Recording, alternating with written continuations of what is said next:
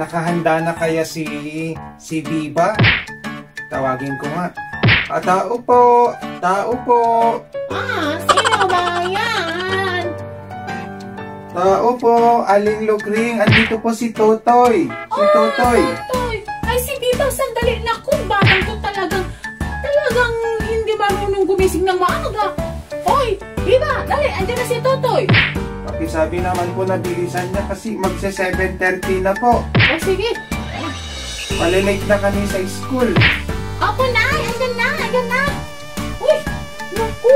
Biba! Biba! Bilisan mo naman! Malilate na tayo sa Sige, school! tigat kasi ng bag ko. Ang daming libro. Oo, ikaw palagi kang nalilate sa sa pagpasok sa school. wag mo na akong sermonan, Totoy. Tara na, malilate na tayo. Tayo na, Biba, Magagalit sa na. atin si Sir Ruperto. Dali, Nako, talaga na.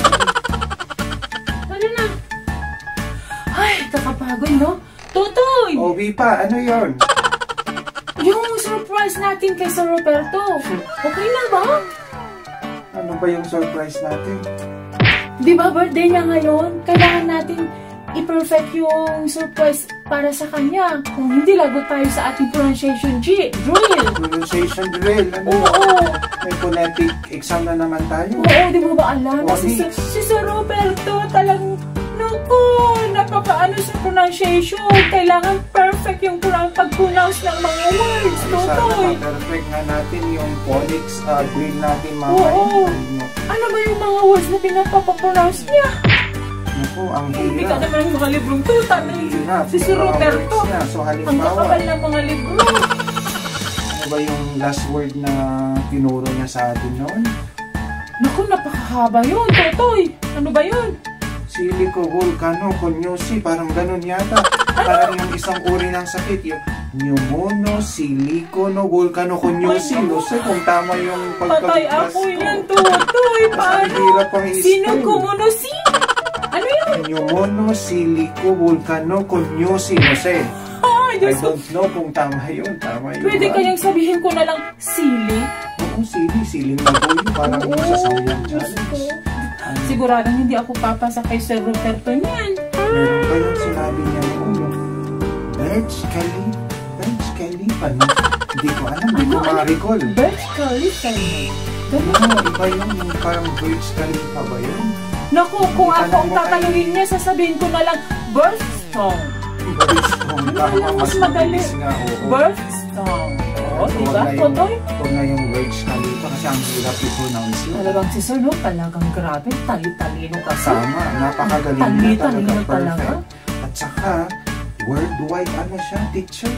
Mula, mula sa Pilipinas, sa Asia, napunta pa sa Europe.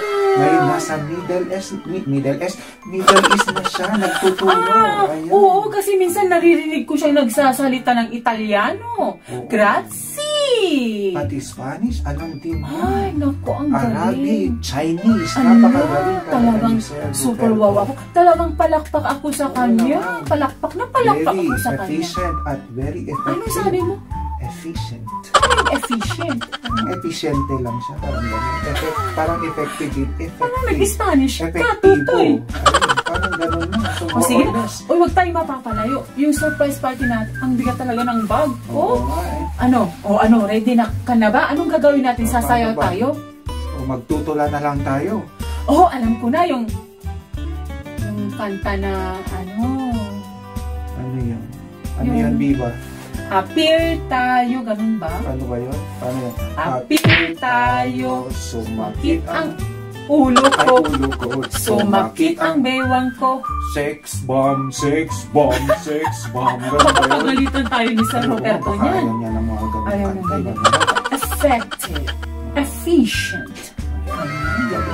Very Ako, gusto seasoned. ko, gusto ko siyang ano, gusto ko siyang, gusto ko siyang tularan, oo. Ayan. Okay class, good luck, ano, good morning. Ano yun? Good morning. Buenos dias.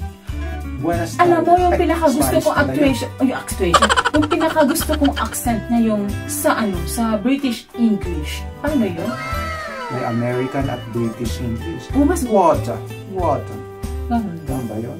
What? Sabihin na lang natin, tubig, mas Oh. mabilis. Ayan, so, i-practice natin yung Sige, sige. acronym natin, yung parang recitation natin para Kinakabahan sa ako. O, sige. greetings kay Sir Roberto kasi birthday niya sa araw Oo, na ito. Ayan, Sige, so sige. bibigyan natin ng tawag na dito yung pagpapaliwanag, no? Pagdi-describe sa kanyang Patay ako yan. O sige, sa sige. kanyang Para kay Sir. Roberto, Okay, gagawin ko yan, Totoy. Sir, Sir Roberto, Oo. ayan. So, Roberto, R. Responsible. Ayan, responsible. Ano bang ibig sabihin ng responsible? Well, responsible means that he's always doing his responsibilities as a teacher. Thank you so much, contestant number one. Ayan, so letter U. You. Understanding. Ayan, subot ako yan kasi talaga namang napakaunawain. Yan na teacher ni Oh, si Totoy, i-explain mo diba? bakit kailangan sabihin natin understanding si Sir Roberto. Yan, kasi naiintindihan niya tayong mga estudyante niya. Pinapaliwanag niyang Super mabuti. ugly ako Yan. dyan, Totoy. Dahil alam mo ba, siya lang yung teacher na hindi nangungurot ng singit. Kasi yung ibang teacher nangungurot ng singit pag wrong, wrong yung answer mo. Yan, napakatalaw, very Yung, understanding yung si Sir mistake mo, yun din ang kurot sa singit. Ikaw nakurot na ba sa singit? Mm, Dalawang Ang beses sakit na. no, Diyos ko. Buti na, beses, pero sa ibang teacher, hindi kay Sir Roberto. Oo nga, kaya sabi ko, siya ang pinaka the best. Kasi yung ibang teacher, pag nag-mistake ka lang, Diyos ko, kurot agad sa singit. Sabi, ayan, di ka nag-aral. Ganyan. Yan, O, okay. Sige. Yung next tuloy letter natin, P. P. Ano ba yun? From the word perseverance, no? Oo, Very persevering. O, ikaw na mag-explain nun. Medyo mala- malalim-lalim ang, ang ibig sabihin nun. Kaya ikaw Yan, na, parang Totoy. kung halimbawa meron kang goal sa buhay, so kailangan mong magiging persevering ka para ma-achieve mo yung goal mo. Uy, Totoy, ganun. parang ikaw na si Sir Roberto. Ang galing mo Oh, mag-explain. itinuro niya nung na, Ah. nakaraan lang, kahapon yung tinuro niya yan. Nakatulog na naman ako siguro nung pinapaliwanag niya yung word na yan. Diyos ko talaga ako, antukin talaga kahit kailan. Ayan, so yung next letter naman tayo, yung E. Okay, E, efficient. Ayan, parang so yung efficient teacher, no? So, napaka-efficient, di ba? Si Sir Roberto. Oo. Tinitingnan niyang mabuti kung talagang naiintindihan natin mabuti ng maayos yung kanyang lesson. Oo, at saka napakadaling intindihin ang kanyang pagtuturo. Talagang swak na swak sa utak ko yung mga tinuturo ni Sir Roberto. Yan, dahil sa methods niya, yung estratehiya niya sa sa pagtuturo sa atin, kaya napaka-efficient na teacher. Oo. Yan. Ayan, si Sir Roberto, no? Oo, Tatawa Toto, ba? hindi ako na naaantok sa klase niya. Hindi ako naaantok sa klase niya. Kasi Okay? talagang ipinapa, ina- ina-explain niyang maputi, di ba? Oo. So yung next letter natin, di ba, sa pangalan ni Sir Roberto, R. Okay, reliable. So reliable. So parang synonym din siya ng dependable, di ba? So we can depend on Him. Ayan. So ano naman yung T, di ba?